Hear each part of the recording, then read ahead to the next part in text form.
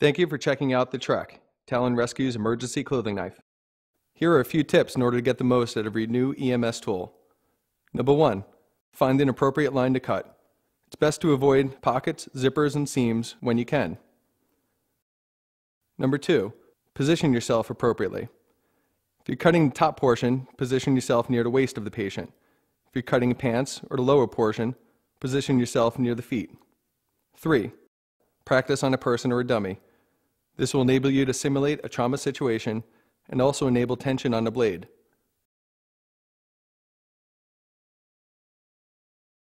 Here we cut a pair of jeans at full speed. Let's slow things down a bit. Grab the waistband. Position the blade against the waistband. Use an upward pulling motion in order to make your initial cut. After your initial cut, continue to draw the TRECK down towards the bottom of the patient. Keep the handle about horizontal to the cutting surface. Go ahead and make some practice cuts. Thank you again for checking out the TRECK, Talon Rescue's emergency clothing knife.